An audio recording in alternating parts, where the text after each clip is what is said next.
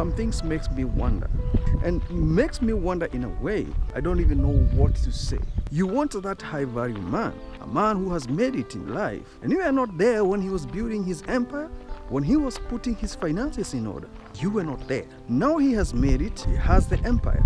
Actually, you want to deceive him, and because you know the constitution, what it says about marriage act, you want to take advantage of that.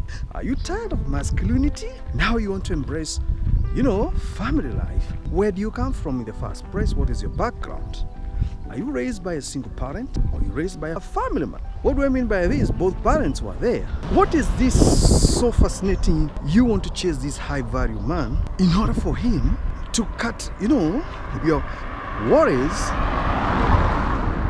and make them your, your, your happiness. This high value man will need somebody who is submissive and not that a masculine energy. You want to come and show him in his residence, controlling his finance, taking away what he has built for his, because that is what you're good at. I don't think this will go well.